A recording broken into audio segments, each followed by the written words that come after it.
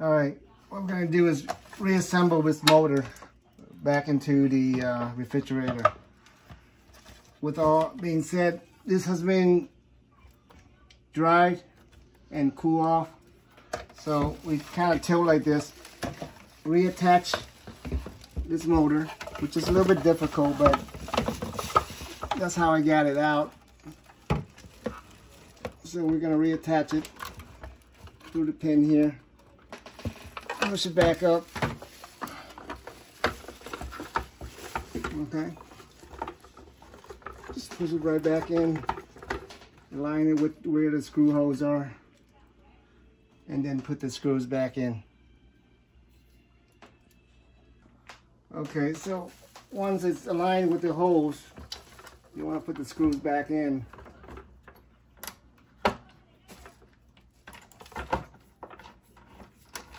At a time.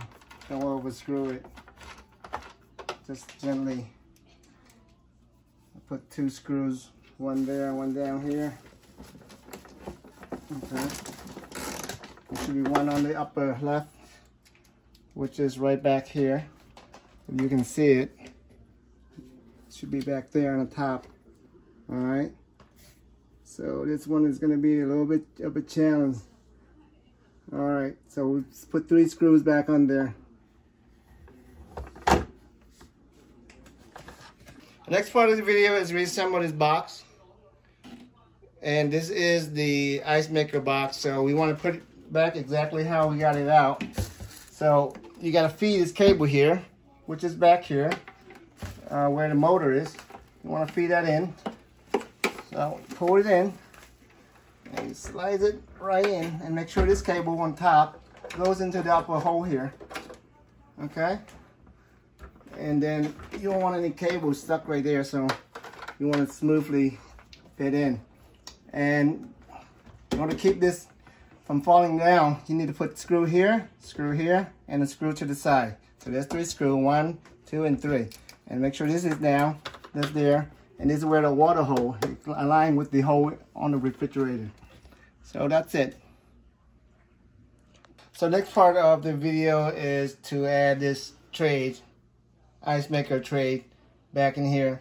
And see there's two, there are four holes on here. And if you look in the box, there are four uh, screws that hang down. Basically, you just slide in, okay?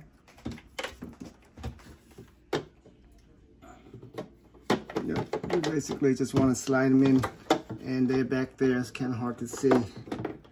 But uh, you just slide them in like that, okay? And then you connect these pins. There's a six pin here, very easy to do, plug it in. And this is a nine pin. So you just plug it right back in here and snap. Okay. And that should do for this part. This video is to install this ice tray and it's kind of, it's not difficult, but basically what you want to do is make sure that this wire lay right on top of this and fit it in between these gaps so that it doesn't get in the way. All right. So I'm gonna fit everything in properly and may have to put a zip tie in if possible. But uh, that's basically it. Uh, once you do this, put that in properly and you can snap these in. One is a six pin, one is a nine pin, um, which both should work properly. Okay, this is a nine pin, this is six pin, so that's it. All right, we're gonna put this tray back in here and the way this goes is these two hinges has to go onto the, the uh, ice maker that's laying up there. And you want to make sure all the wiring goes in here so it doesn't interfere with anything. So kind of slide it in there and then it fits right there. And this screw goes right up here. Okay? And just put the screw right back on there. All right after you put the screw back on, this is how the box should look, okay? And we'll, everything is on the control, everything is hooked up properly. One more thing, is to put this cover on. Um, this cover should go on like this, let me see where it goes. All right. Okay, it should fit on like that. And there's one screw on the bottom here and one screw on the side. Okay, and we all set. Once we put all that in, and we're all good. And this is the last part, so after everything is, done, screw in properly. You should slide in. Everything should fit properly, okay? Um, slide it in. There should not be any gap, and if there is, you want to check, okay? All right, now that's done. We're gonna close it, and we're gonna turn it back on. So focus on here. What you wanna do is you wanna press hit the set button, press and hold, and stop blinking. Voila, everything's back on. Okay, it's preset to a certain temperature. So, but if you want to make some changes, you can press and hold, and it should change. Okay.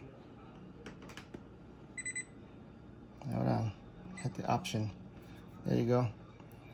You should be able to make changes over here. All right. On and off or you can scroll it down up and down certain display certain temperature.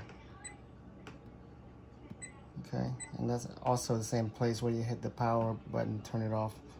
Okay now anyway we can just exit. Done